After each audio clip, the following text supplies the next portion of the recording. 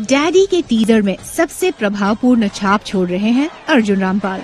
अरुण गवली के किरदार में अर्जुन अपने अभिनय की एक झलक से ही आपके जहन पर छा जाएँगे।